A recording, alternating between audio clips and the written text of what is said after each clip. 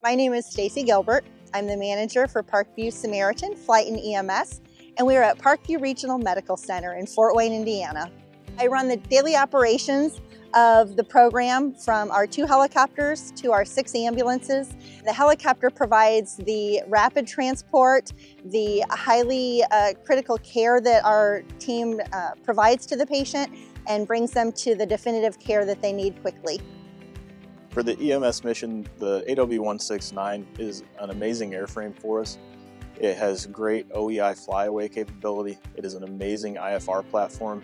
Uh, it handles weather, wind very, very well. Another aspect that the 169 brings is the APU mode allowing us to keep engines running, keep oxygen flowing, keep the climate controlled inside the cabin and the cockpit. So once crew members do arrive with a patient, there is no delay on getting those systems set up the 169 has a really nice avionics suite with the IFR capability, uh, the streamlined EDCUs, which are the computers that we interface with the machine. The way those interact makes it a simple process for the pilot. The primary benefit that the 169 brings is going to be that power, performance, range, as well as the space the med crew has available in the back. We have a lot more patient care room. We can utilize patient care from both sides of the patient now instead of you know, just top and bottom.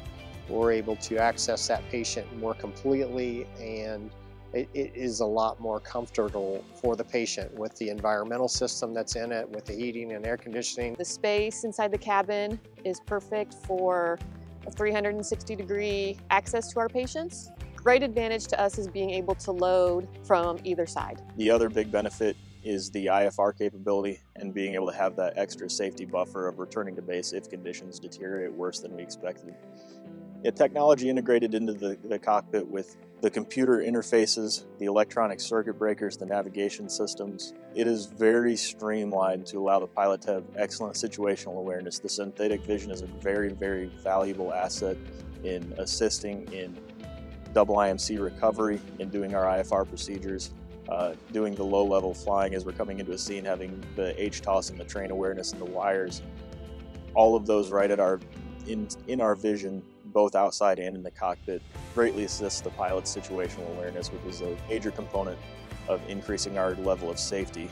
Today we're, we're up to date with the most advanced aircraft on the market, the 169. Uh, everything is, is digital and, and can be traced. We can trace this aircraft down to the uh, second of flight time and we have a bunch of predictive uh, analytics that, that, enables us to uh, detect failures uh, when they're starting. It's very maintenance friendly. Uh, it's very uh, sophisticated as far as computers and technology goes. The intervals are, are, shortened to facilitate operations and to make it more readily dispatched for minimal downtime. We fly single pilot IFR here at Parkview Samaritan, and a lot of the tools uh, provide the situational awareness and the precision that's needed to safely and successfully um, fly in the clouds. So once we have the 169 loaded uh, with all of the medical equipment, our crew, and the patient, uh, we see speeds around 135 knots.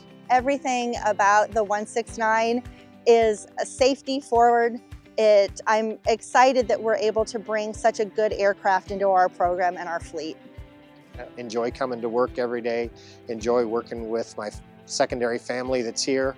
My whole big goal is if I land and we get out to take care of a critically ill or injured patient or somebody in cardiac arrest, can we make a difference and they go home? My whole goal is that they go home to spend more time with their families.